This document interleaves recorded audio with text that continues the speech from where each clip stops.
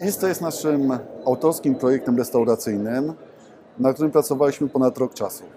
A został on przygotowywany przez nas wewnętrznie w oparciu o naszą wiedzę, ale też doświadczenie zgromadzone w Olimpie. Czym to się różni od naszego klasycznego Olimpu? Przede wszystkim lokalizacjami.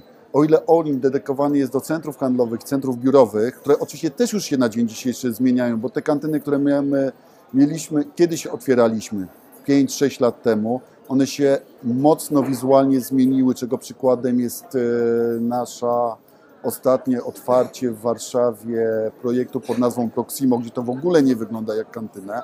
O tyle nasz koncept isto jeszcze wyżej idzie, jeszcze jest w ogóle wyżej celujemy w jeszcze lepszego klienta, gdzie dobór materiałów jest o wiele inny, gdzie mamy obsługę kelnerską, gdzie mamy bardzo duży nacisk, będziemy mieć bardzo duży nacisk na live cooking, gdzie będziemy mieć bardzo duży nacisk na e, pewną interakcję pomiędzy kucharzami, kelnerami, kelnerkami, a naszymi klientami i przede wszystkim lokalizacja. To nie może być lokalizacja, która jest w zwykłym budynku biurowym albo w zwykłej lokalizacji streetowej, tylko to musi być taka lokalizacja, która daje pewną wartość dodaną, czyli poza budynkiem biurowym albo handlowym, ale też dosyć duży trafik.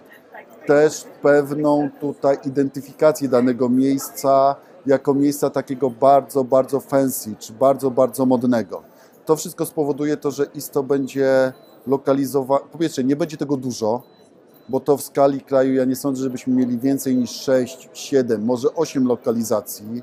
O ile w Katowicach już jedną mamy, w Krakowie pewnie będzie jedna, we Wrocławiu pewnie będzie jedna, w Poznaniu będzie jedna, w, Kat- w Gdańsku będzie jedna, w Warszawie nie sądzę, żeby to było więcej niż dwie czy trzy lokalizacje. To też jest związane z tym, że fit-out związany z, z ISTO jest dwa razy wyższy niż przy realizacji nowej kantyny. ISTO będzie, raczej już jest realizowane w budynku KTW w e, Katowicach. Pierwsze ISTO będzie otwarte e, w pełni na przełomie lipca i sierpnia tego roku. Sama kuchnia zajmuje około 100-120 m2, natomiast jeżeli chodzi o powierzchnię taką dla klientów, to jest od 300 m2 w plus. My nie posiadamy żadnych kuchni centralnych, dlaczego wszystkie nasze dania są przygotowywane na miejscu e, i na, e, i na normalnych e, produktach bez żadnej ingerencji chemii.